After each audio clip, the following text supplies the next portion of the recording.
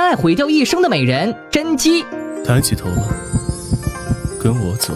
这位倾国倾城的美人，就是袁绍的儿媳妇甄姬。甄姬本名甄宓，人美心善，还擅长音律。曹操攻破邺城后，美人沦为战利品。曹丕比父亲抢先一步将甄宓娶回家。虽然一开始是我强留，但我曹丕发誓，此生一定爱你护。君不负我，我必不负君。两个人度过一段恩爱的时光。可随着曹丕称帝，后宫纳的美人越来越多。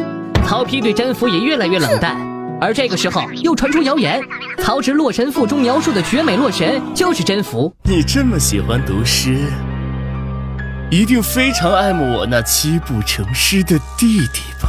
陛下不再爱我，便也不再信我，甄姬无话可说。黄初二年六月，甄宓被赐死，葬于邺城。希望下辈子甄夫能够遇见一个真正爱他护他一生的良人吧。